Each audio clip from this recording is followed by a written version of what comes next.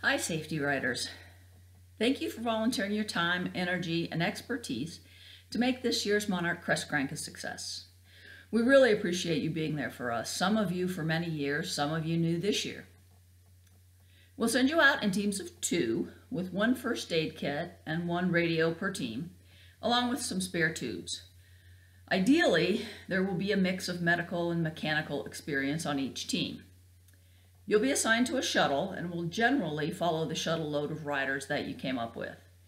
No need to keep track of each member of your shuttle, just try to stay spread out from the other safety riders so that we have a good coverage of all the riders.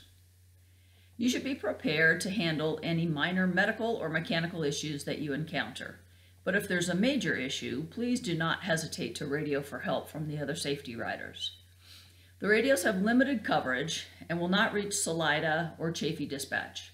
Some cell phones work on the crest in certain spots, so please bring yours fully charged and don't hesitate to call 911 if there's a medical emergency. If you have a personal spot or inReach device, please feel free to bring that as well.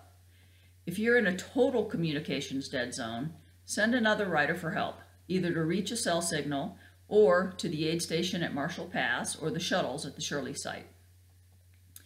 We're only able to hold this event with the permission and help of the Forest Service Salida Ranger District. They've asked us to communicate the following information to all of the riders and the safety riders. Information from the Forest Service.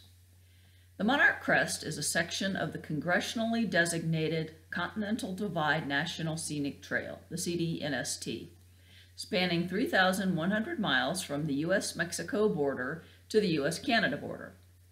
While the CDNST was originally designed for hiking and horseback riding, it is open and often used by mountain bikes and motorcycles.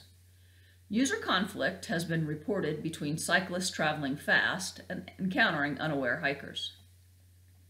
Tips to promote a positive trail experience for everyone. Be courteous, be polite, Say hello, slow down around blind turns, and when you see other trail users. Offer to take a photo for others. Respect hikers and equestrians. Always move off the trail for horses and slow down and offer to move off the trail for other users. Say hello and thank you if they move off the trail for you. If you see motorcycles, please get off the trail for them. This reduces resource damage because it's much easier for mountain bikers to step off the trail for motorcycles than for motorcyclists to get off the trail for bikers.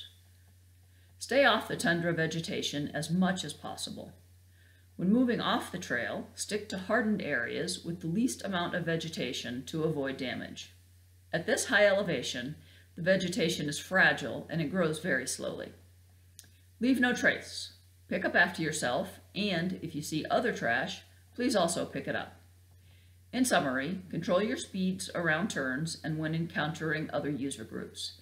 Be safe, be respectful, and have fun.